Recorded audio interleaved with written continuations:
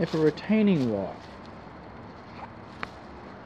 is less than four feet high, then a building permit was not required to install this. And it might have been, but I don't know. It wasn't required. If a retaining wall is further than twice its height from the structure, then in theory, it shouldn't affect the structure's performance. And thereby is beyond the scope of this inspection. But I'm here. It's beyond the scope. This is a this is a freebie.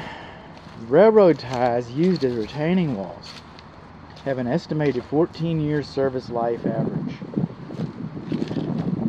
I've had some my own home, my house, that lasted a little, quite a bit longer actually. But at 14 years, you're going to start looking for signs of advanced aging. A little uh, loss of integrity.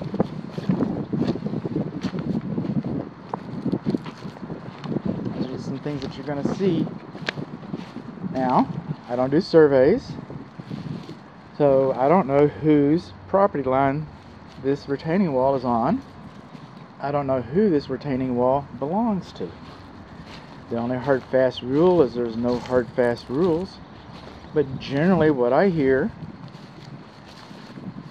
the word on the street is that whoever has the high ground, this is their retaining wall. This would be my client's retaining wall under many circumstances, but not every circumstance. Now, over here on the patio, they've built up, and that's not a retaining wall, those are landscaping blocks. They're not anchored, they're there just helping. And it's good that they're there because they hold the pressure back towards the house. I cannot tell. I mean, it looks like dead men were installed. I don't know if it was filled properly. I don't know if they put GeoGrid back there. I don't know how it was installed at all. It just seems to be performing the function for which it was intended today. And it happens to be beyond the scope of this inspection report.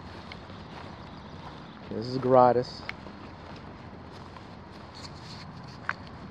I was more concerned about it when I saw it online with the wide angle lenses. It looked a lot more predominant, prominent. A lot more prominent. Not that it isn't. And when it comes time to replace it, it'll there'll be a cost.